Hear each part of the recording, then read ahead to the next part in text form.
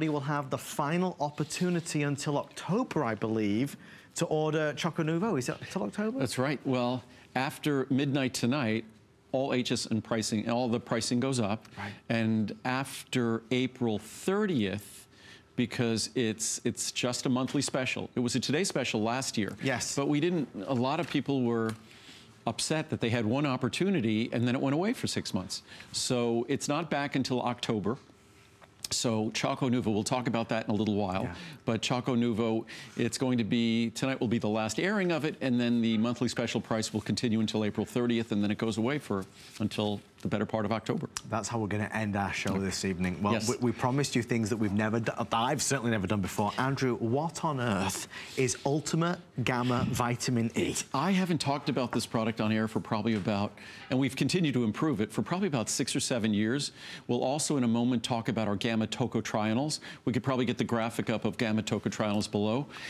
A lot of folks are told by their doctors to consume extra vitamin E, uh, whether it's their cardiologist or whether it's their internist, whoever it might be. They're told to consume extra vitamin E. The typical vitamin E product in stores is alpha tocopherol. It's synthetic alpha tocopherol. It's DL alpha tocopherol. Um, synthetic alpha tocopherol is something that no one should contemplate taking. In fact, alpha tocopherol itself, it's kind of like when we look at omega-3s. The most important omega-3 is the secondary omega-3 in most omega-3 products. The most important omega-3 is secondary. Um, whereas in our omega-3 product, we make the most important omega-3 primary, DHA. The same with vitamin E. The most important form of vitamin E isn't alpha tocopherol, it's gamma tocopherol. It's the most potent, the most protective, the most important.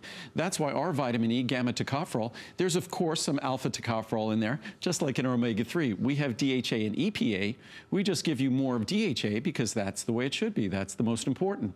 The same with vitamin E. So gamma tocopherol is the most important form. In fact, if it came to taking just separate alpha tocopherol on its own, I wouldn't do that because then what little gamma I would get from my diet would get crowded out.